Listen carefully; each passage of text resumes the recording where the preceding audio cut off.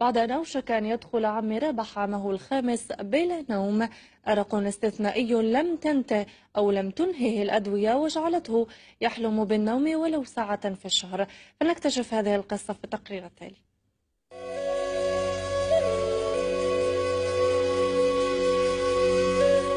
رابح قصة تداولها الناس بقرية برج علي ببلدية سطارة.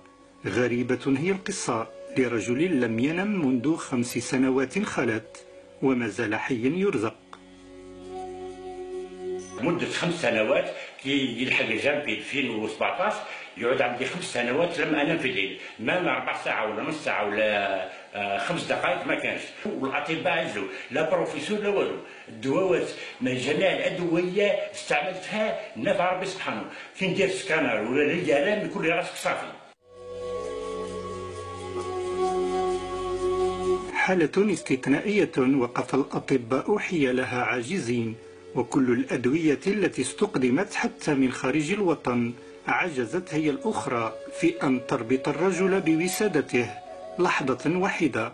رحت لعين جدويس كذبوني رحت النوبل تاع الجيش الوطني الشعبي كذبوني الأطباء اختارها قالوا لي الأطباء اختصاصيين الدواء كم شربها؟ من فرنسا الدواء من تونس من الألمان من أمريكا من أمريكا وما ارتحتش استعملت الرقية الشرعية كما كان ربي سبحانه ماشي ما ارتحتش أرق بعمر خمس سنوات ولم يزل رابح رب بيت غير مقصر في حق أسرته. ما رجعتش مدة خمس سنوات من 2012 وهذه ترجع لقدره الهيه ربي سبحانه ربي سبحانه آه، رب السماوات هو ربي سبحانه نحل لي رقاد وأعطاني القوة وأعطاني العقل نمشي به نصلي نقضي الدار لاباس بيا نضيف نصلي نصدق. أما أمله فساعة من النوم في الشهر تكفيه.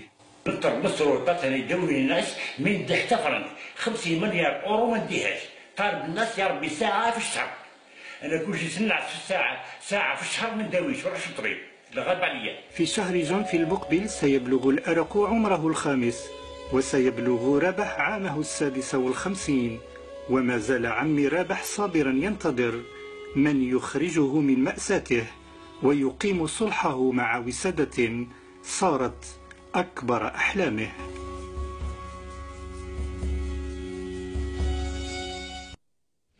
ختام والنشر أشكر لكم كرم الإصغاء والمتابعة. تأتيكم أخبار الرياضة بعد قليل. مع